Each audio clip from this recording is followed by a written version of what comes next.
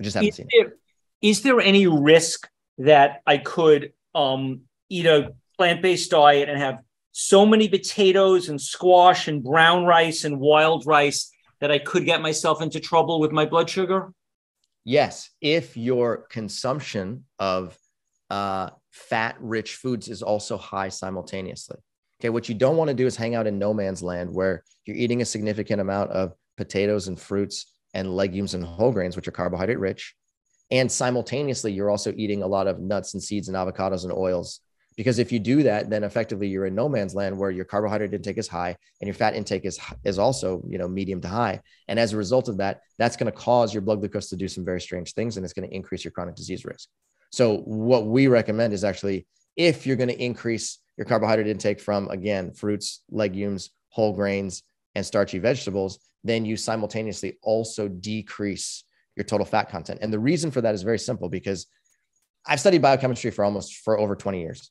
And while I was studying biochemistry in graduate school from 2007 to 2012 in uh, at UC Berkeley, I was studying underneath Dr. Marc Hellerstein, who's one of the the uh, world's most authoritative uh, experts on carbohydrate metabolism. And he drilled into my head thousands of times over that eating a carb, a high carbohydrate diet is only possible when your fat intake is also low. And the reason that that, that occurs is because the enzymatic machinery inside of your, your liver and inside of your muscle is is the enzymatic machinery inside of your liver and muscle is going to adapt to your fuel source. So if you are consuming a high fat diet, then you effectively activate uh, you activate a whole collection of enzymes that are responsible for fatty acid absorption, fatty acid storage, and fatty acid oxidation. Okay, so this is the sort the, the symphony of enzymes that are responsible for fatty acid uh, uptake, storage, and oxidation. So if you're going to upregulate those enzymes by eating a fat rich diet, then what you're simultaneously going to do is you're going to suppress all of the carbohydrate uh, enzymatic machinery that's responsible for carbohydrate uptake, carbohydrate storage, and carbohydrate oxidation. Okay, so the two of these enzymatic machines work in opposite directions. So if you increase fatty acid machinery, then you simultaneously suppress carbohydrate uh, enzymatic machinery. And that's true inside of your liver, it's true inside of your muscle. And so th- th- there's specific reasons why this happens from a biological perspective. But if one of them is high and that, that suppresses natively the opposite machinery, then what that means is that if you eat a high fat diet that's low in carbohydrate, then you you, you can actually metabolize that uh, that collection of nutrients simultaneously, if you do the exact opposite and you increase your carbohydrate intake, that suppresses natively or endogenously your enzymatic machinery for fatty acid, uh, for, the, for all fatty acid related activities. And so the only way that you can do it is either by eating a diet that's high in fat or by eating a diet that's high in carbohydrate. And that, that has to be true while the other one stays low. But if you try and do both of them simultaneously and increase your fatty acid intake while increasing your carbohydrate intake simultaneously, then you're running into a scenario where you are asking tissues to have both enzymatic machines on simultaneously. And that's where people run into significant problems because both machines cannot operate simultaneously um, in both tissues, in your liver and in your uh, muscle simultaneously. So it becomes a real problem from a biological perspective. And that's why you'll find that people in the ketogenic world demonstrate that they have excellent blood work again because they've upregulated fatty acid machines and they've lowered their carbohydrate machines. But if you look at people in the plant-based world you'll see that they're also getting phenomenal blood work because they've upregulated their carbohydrate machinery and they have downregulated their fatty acid machinery. So both of them get good results but in the long term the studies demonstrate that the people who are eating the plant-based foods actually end up with the best results and the people who are eating the ketogenic diet actually end up with worse results over the course of time. So when you eat beans and whole grains, do you Correct. personally ever add avocado or oil to it? do i ever no so i have zero oil in my diet and i haven't had oil for 20 years and that's a personal choice um, a little bit of oil can go a long way um, because i eat a truly low fat diet that contains between 20 and 30 grams of fat per day and what i found experimentally is that if i add a little bit of oil to my diet or if i go to a restaurant and there's a little bit of oil then um, what will happen is that during the meal, my blood glucose control will be fine. For the next two hours, there will be no significant deviation in my blood glucose control. But starting at about the two hour marker, sometimes a three hour marker, my blood glucose goes extremely high. And that's a result of a, it's basically an extended or it's a, it's a late onset postprandial hyperglycemia, which means it takes a couple of hours to start and then it causes hyperglycemia or high blood glucose in the postprandial state, in the post meal state. That happens when I consume oil. And when I choose to have a little bit of avocado, the effect is still there, but it is suppressed just a little bit.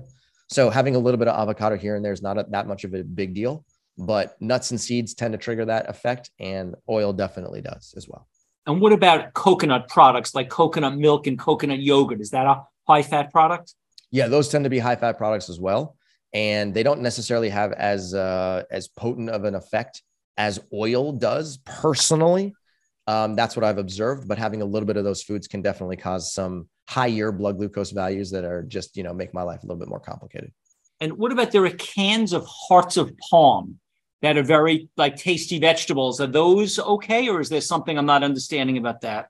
Yeah, you know what? Um, my my daughter is a Hearts of Palm fan, and my wife loves it as well, and I have small amounts of it as well. I actually don't know what the nutritional what the what the macronutrient ratio is in the heart of palm myself. So i'm going to plead ignorance on that for the time being. Okay. but what i have noticed is that when i consume them it doesn't really cause any blood glucose uh, variation.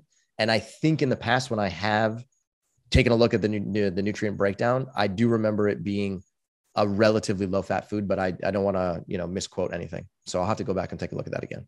Okay where are you on nutritional supplements on you know, all the different vitamins, minerals, chlorellas, green powders, probiotics, vitamin B12, C, D. What is your thoughts on nutritional supplementation?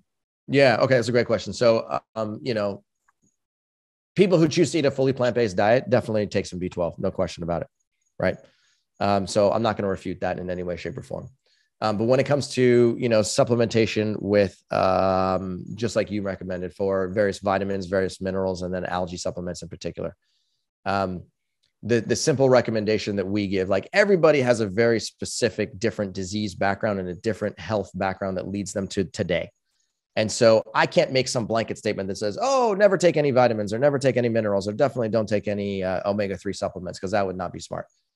Um, the reality is that each individual is going to have to uh, ascertain that themselves. And so what we recommend is work with your doctor. Hopefully your doctor is an, is is well versed on understanding how they can actually measure um, uh, you know various metabolites inside of your blood and then give you very good evidence-based recommendations based off of those.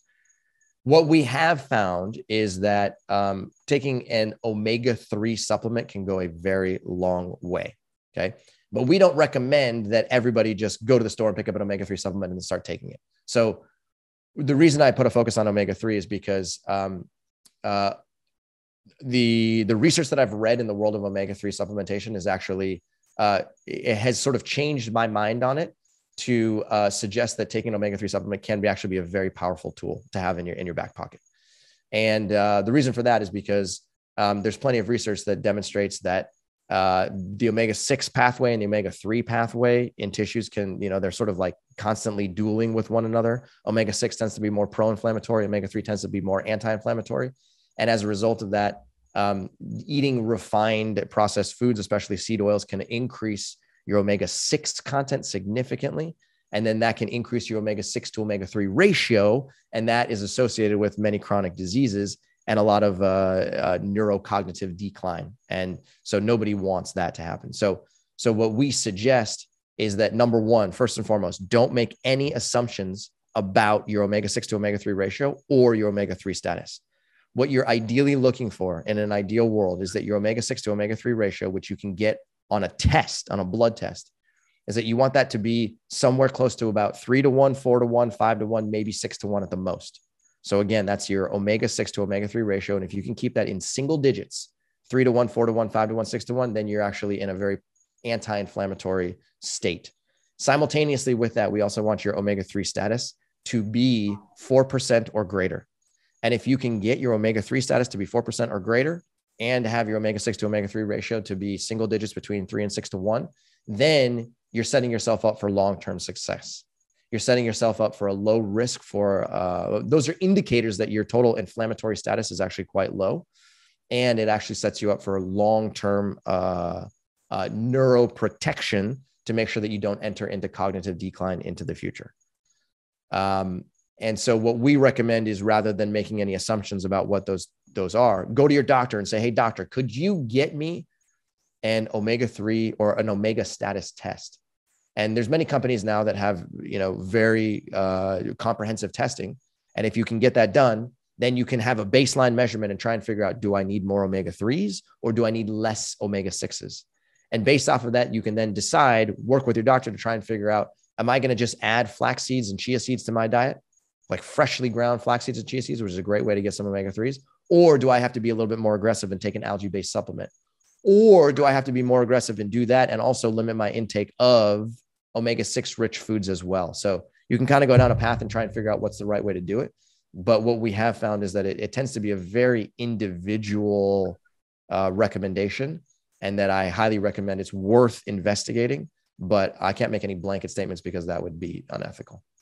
So if we take an algae-based oil for omega-3, does sure. that does that concern you that even though it's solving one issue, then now it's adding oil to our diet? No, that's a great question actually, because the amount of oil that you consume in an algae-based supplement is so small that it's the, the it's not going to negative, it's not going to significantly increase your total uh, fatty acid intake so much that you're going to now you know not be able to consume a low fat diet. So in other words, the amount of oil that you consume in an algae based supplement is so small. Don't even worry about it. Have a little bit. If that's going to boost your omega 3 status and keep your omega 6 to omega 3 uh, ratio low, then by all means, by, uh, go for it. It shouldn't present a problem.